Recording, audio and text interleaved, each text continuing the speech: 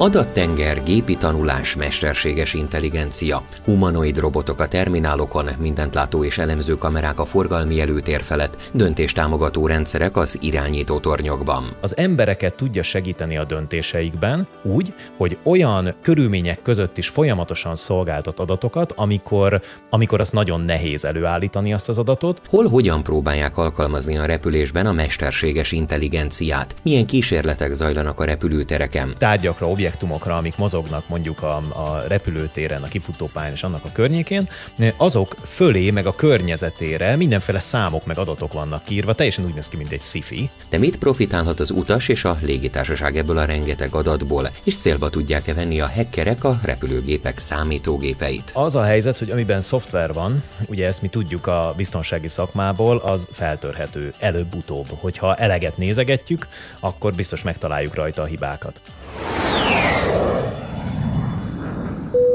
Runway 31 left, clear for takeoff, wind 320 degrees of pilot.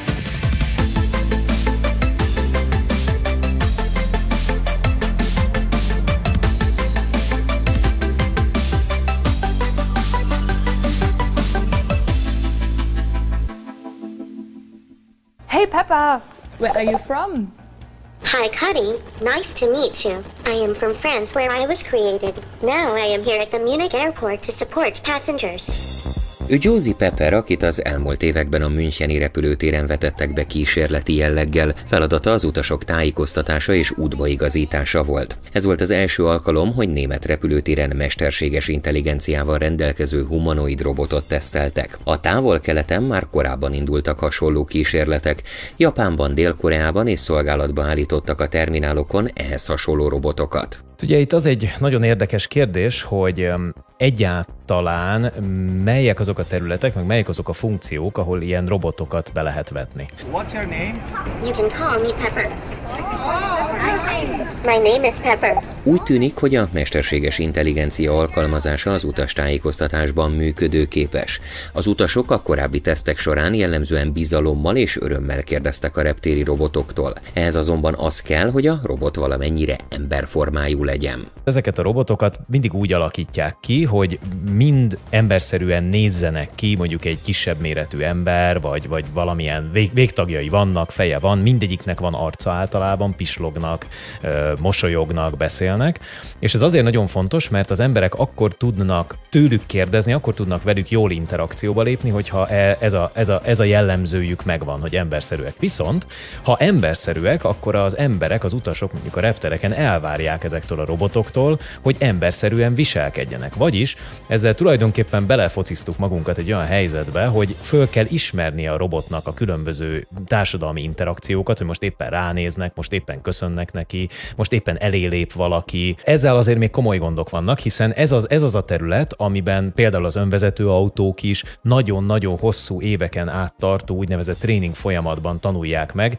ugye a, a gépi tanulás és a mesterséges intelligencia, hogy mi hogy van, melyik tárgy micsoda, ez egy ember, ez egy másik elem. Ezek a robotok jellemzően egy nagy teljesítményű processzorral rendelkeznek. Emellett folyamatosan csatlakoznak ahhoz a felhőszolgáltatáshoz, amely feldolgozza a beszédet és előkeresi a szükséges adatokat, információkat. Azért is különlegesek, mivel nem előre meghatározott szöveget használnak fel a beszédhez, így képesek a felmerülő kérdésekre egyedi választ adni. A tanulás az arról szól alapvetően, hogy megtanulják a környezetüket, megtanulják az emberi reakciókat, hogy arra milyen válaszokat adjanak, és ami még nagyon fontos és szerintem szerencsés dolog a repülőtereken, hogy ott azért egy zártabb környezetben viszonylag egyértelmű feladatok vannak, amik ráadásul nagyjából ugyanúgy történnek mindig. Távol-keleti reptereken ez nagyon jó, mert, mert ezektől a robotoktól útbaigazítást is lehet kérni, és akkor ezek a robotok például elindulnak előttünk, hozzá kell tenni, hogy mondjuk az én tempomhoz egy kicsit lassúak, de egyébként nagyon aranyosak,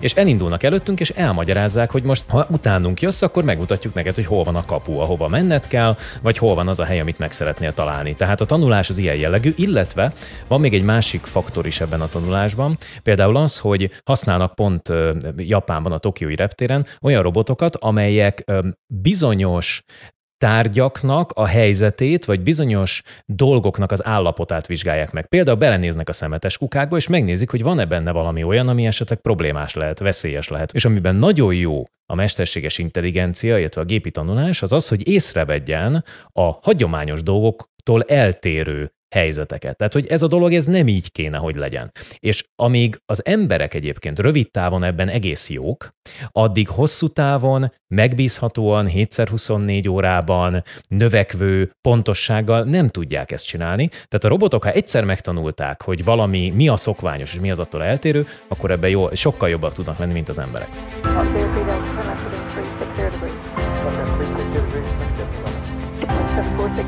London Heathrow a világ egyik és Európa legforgalmasabb repülőtere, ami a járvány előtt is csúcsra volt járatva. 475 ezer gépmozgás mellett közel 81 millió utast kezelt tavaly. London legnagyobb légikikötője régóta kapacitás hiányjal küzd, emiatt rendszeresek a késések. A rossz idő miatti késések visszaszorítására tavaly itt is elkezdték tesztelni a mesterséges intelligenciát, mégpedig a toronyban, ahol az Ultra HD nagy felbontású kamerákat összekapcsolták a gépi tanulással. Egy olyan digitális irányító toronnyal is kísérleteznek ezekben a projektekben, ahol az, a légirányítók azok valójában nem a valóságot látják az ablakon keresztül, hanem az ablakokat tulajdonképpen képernyővel helyettesítik. Ez nagyon érdekes, mert még az osztások is megvannak a képernyők között, és az egész teljesen úgy tűnik, mintha a valóságot látnánk. Csak az az érdekes, hogy a, a repülőgépekre, vagy a különböző tárgyakra, objektumokra, amik mozognak mondjuk a, a repülőtéren, a kifutópályán és annak a környékén, azok fölé, meg a környezetére mindenféle számok, meg adatok vannak írva, teljesen úgy néz ki, mint egy sci és ez azt segíti elő, hogy a, a különböző feladatokat sokkal hatékonyabban tudják ellátni a légirányítók, hogyha az egyes objektumokhoz, amiket látnak, ahhoz hozzá köthetőek bizonyos információk. Minden repülőtéren naponta többször hajtanak végre a kijelölt szolgálatok futópálya ellenőrzést, amikor olyan idegen testeket, tárgyakat keresnek a betonon, amelyek veszélyt jelenthetnek az induló és érkező repülőgépekre. Legyen szó leesett alkatrészről vagy a szél által befújt tárgyakról. Ezek észlelésében sokat segíthet a fejlesztés alatt álló rendszer megfelelő kamerákkal, amelyek nagyon komoly nagyításokat is tudnak végrehajtani, meg tudják mondani, hogy ezek a tárgyak például hol vannak jelenleg, a, a helyzetüket rögzíteni tudják, esetleg még azonosítani is tudják ezeket a tárgyakat, sőt tudják követni, hogy mi történik velük. Tehát valaki eltávolította ezt a tárgyat, elvitte onnan, állatokat tudnak azonosítani például, hogy ez milyen fajhoz tartozó állat. Például, ha van egy repedés valahol, akkor szintén azt is azonosítani tudják, sőt, még azt is meg tudják mondani, hogy a repedésnek mondjuk milyen a mérete, esetleg a hó vagy jég van, akkor az, arról is adatokat tudnak adni. Tehát a lényeg az, hogy a különböző szenzorokkal, érzékelőkkel rengeteg információt tudnak begyűjteni, mind a repülőgépekről magukról, mind pedig a, a, a pálya állapotáról, ezek a fejlesztések a fordulóidőre és a földi kiszolgálásra is jótékony hatással lehetnek. Minden területen, ahol aktívan tesztelik a mesterséges intelligenciát, ugyanakkor fontos kérdés, hogy hozhat-e saját döntést a rendszer. Kutatók szerint az irányításban egészen egyszerűen nem lehet kiiktatni az emberi tényezőt az embereket tudja segíteni a döntéseikben úgy, hogy olyan körülmények között is folyamatosan szolgáltat adatokat, amikor, amikor az nagyon nehéz előállítani azt az adatot. Tovább megyek, mert, mert magának a, a gépnek a, a, a földön lévő állapotát is, tehát az, hogy éppen milyen állapotban van, éppen mit csinálnak vele a földi személyzet, mit dolgozik rajta, mit ellenőriz rajta éppen, ezt is tudja támogatni egy ilyen rendszer, tehát tulajdonképpen végig tudja menedzselni, ha úgy tetszik, a, a gépnek az életét onnantól kezdve, hogy mondjuk leszállt, és a reptéren megérkezett és elindult valamire, egészen odáig, hogy felszáll, és ezekről folyamatos információkkal tudja ellátni az irányítást és a, repülő, repülő, és a reptér menedzsmentjét.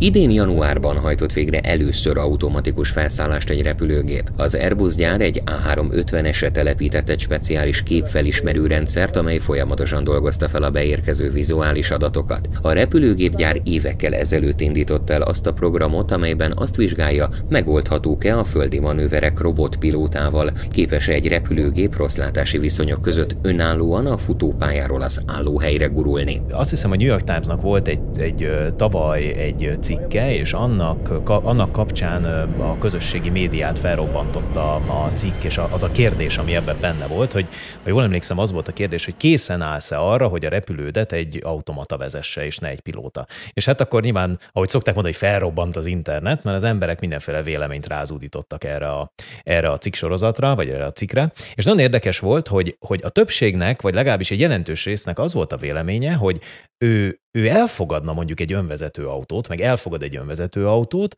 de egy önvezető repülő az nem tetszik neki. Valószínűleg ebben az is benne van, hogy az emberek azok a, a földön rohangálást, vagy a földön történő mozgást, az sokkal természetesebbnek tartják, mint amikor repülnek, és mondjuk ebben van is valami. Tehát az, hogy egy, egy autó és annak az önvezető rendszere milyen végzetes döntéseket tud hozni mondjuk 100 km per óránál, abban nem sok különbség van egy autó és egy repülőgép között. Sőt, tovább megyek, nekem az a véleményem, hogy nyilvánvalóan Fontos ez, hogy, hogy erre odafigyeljünk, de az utasok biztonsága még fontosabb. Ugye ezekben az Airbus gépekben most már több tízezer szenzor van. Tehát egy 15 évvel ezelőtt is már pár ezer érzékelő gyártott körülbelül fél terabájtnyi adatot egy, egy, egy, egy Boeing gépben, mondjuk egy 787-esben, de most már egy A350-esben is van 50 ezer szenzor, ami több terabájtnyi adatot gyárt le gyakorlatilag egy utazás alkalmával. Ezeket a, a, a számítógépek különösen a gépi tanulással ellátott mesterséges intelligenciák, a mesterséges intelligencia modellek nagyon jól tudják értelmezni és elemezni. Annyira jól, hogy ez már túl van az emberi ö, képességeken, és ezért én azt gondolom, hogy, hogy a jövőben az, az inkább, hogy hogyan használjuk az adatelemzést, még lehet, hogy nem is az automatikus repülésre, hanem arra, hogy kielemezzük, hogy milyen adataink vannak. És ezeket, a, ezeket az adatokat az elemzés után rendelkezésére bocsássuk mondjuk a döntésre a menedzsmentnek, és felhívják mondjuk a földi személyzetnek a figyelmét arra, hogy ezen a gépen ezt és ezt a dolgot nézd meg, mert ebből probléma lehet, sőt, egy ilyen adatbázis arra is képes, vagy egy ilyen gépi tanuló rendszer, hogy a rengeteg már létező adatból összevetve a mostani adatokat következtetéseket vonjon le, és szerintem ez rengeteg utasnak az életét menti meg. Valószínűleg ez ellen sokkal kevésbé ágálnának az utasok, mint az ellen, hogy egy, egy ember nélküli idézőjelbe önvezető repülőgépen üljenek. Az elmúlt években több alkalommal is téma volt, hogy bejuthatnak-e a hackerek a repülőgépek számítógépeibe, például a fedezeti szórakoztató rendszeren vagy a Wi-Fi-n keresztül. Egy neves szakember laboratóriumi körülmények közötti teszteket végezve arra jutott, hogy igen.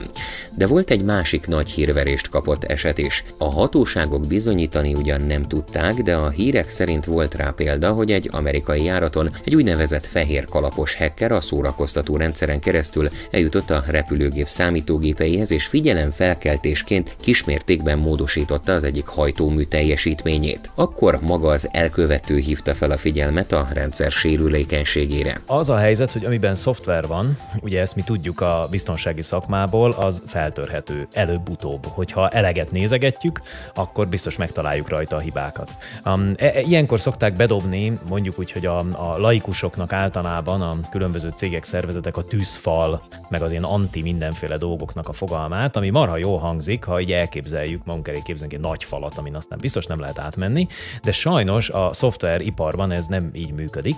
Tehát, hogyha valahol van egy szoftver, ami egy másik szoftvert véd, ez a tűzfal, akkor igazából azon is lehet lyukakat találni, és ott is szivároghatnak információk. Ráadásul nagyon gyakori az, hogy ezeken a biztonsági rendszereken ide-oda járnak a hivatalosan is az információk, hiszen a belső rendszerekből a külsőbe ki kell hozni dolgokat, kívülről be kell vinni dolgokat, előbb-utóbb azért nyílnak meg ezek a lyukak a rendszereken, és hát ezeket ki lehet használni. Az az igazság, hogy ez a téma, ez egy eléggé mumus téma a repülésben, és konkrétan ez a biztonságtechnikai, biztonságtechnikával foglalkozó kolléga, ez a történet egyébként nagyon sok verzióban létezik, de az biztos, hogy, hogy, hogy ő sok mindenhez hozzá tudott férni a, a repülőgép rendszerében, és hát azóta is az ezekre a vádakra csak részben adtak választ a, a különböző különböző társaságok, akik ilyen rendszereket gyártanak. Én nagyon merem remélni azt, hogy, hogy, hogy azért itt jobb a helyzet annál, mint ami, mint ami történt. Ahogy a repülőgépeken, úgy a repülőtereken is rengeteg adat keletkezik óráról órára. Keleti Artur úgy látja, a légiközlekedési iparág inkább az adatelemzésben és az adatok hasznosításában számol a mesterséges intelligenciával, kevésbé az autonóm repülőgépek kifejlesztésében. De mit profitálhatnak a szolgáltatók és az utasok a rengeteg adatból? Rengeteg olyan információ keletkezik, amit utána meg kell védeni. Ugye itt például olyasmikre gondolok, hogy az emberek hova utaznak, miért utaznak oda, oda miket keresnek, a közösségi médiában milyen tevékenységet folytatnak, ilyesmi. Ezeket mind föl lehet arra használni, hogy egyrészt optimalizáltabb ajánlatokat lehessen nekik adni, Másrészt lehessen növelni a biztonságukat. Gondoljunk csak abba, hogy bele, hogy az arcfelismerés, ami szintén egyébként mesterséges intelligenciát, vagy minimum gépi tanulást feltételez, az arcfelismerést milyen jól lehet arra használni, hogy megkönnyítsük az utasok dolgát, amikor be akarnak szállni egy gépbe, vagy például mondjuk bizonyos podgyászokat bizonyos utasokhoz kössünk. Ezzel egyébként sokkal jobban követhetőek a podgyászok, el lehet kerülni a biztonsági problémákat is. Tehát az a hatalmas adatmennyiség, ami jelenleg megtalálható például az üzemanyag használattal kapcsolatban a légitársaságoknál, amire ha jól tudom, kb. 25%-át évente elköltik a, a költségvetésüknek, tehát borzasztó sokat lehet ott is optimalizálni, illetve például a demográfiai adatok,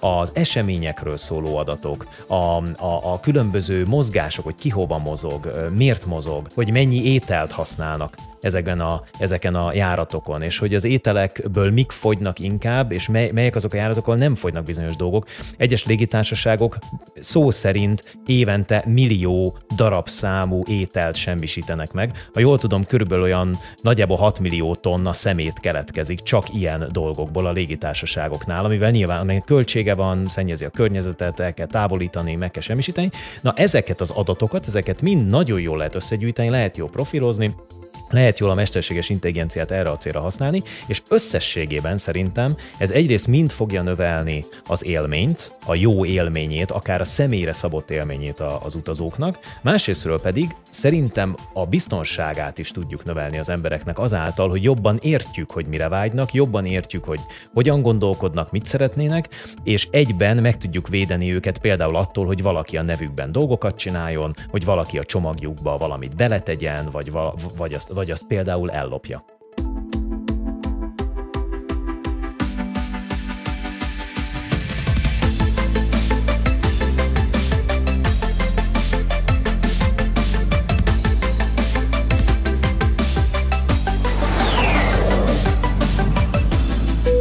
Runway 31 left, cleared for takeoff, wind 320 degrees at 9 knots.